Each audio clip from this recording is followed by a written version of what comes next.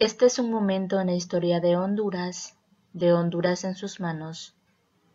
Un día como hoy, 11 de septiembre de 1926, fallece Policarpo Bonilla. José Policarpo Bonilla Vázquez nació en Tegucigalpa el 17 de marzo de 1858. Falleció en Estados Unidos de América el 11 de septiembre de 1926. Fue un abogado y político hondureño.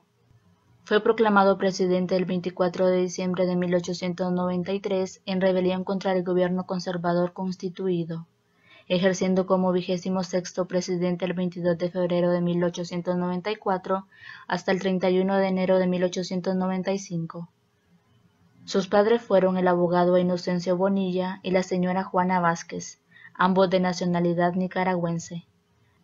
Su vida política y pública comienza cuando fue parte de las administraciones presidenciales, tanto del doctor Marco Aurelio Soto y del conservador general Luis Bográn.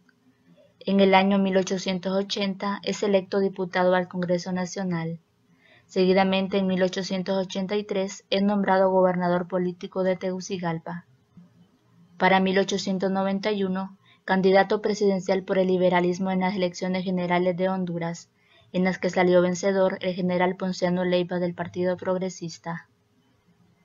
Este ha sido un momento en la historia de Honduras, de Honduras en sus manos.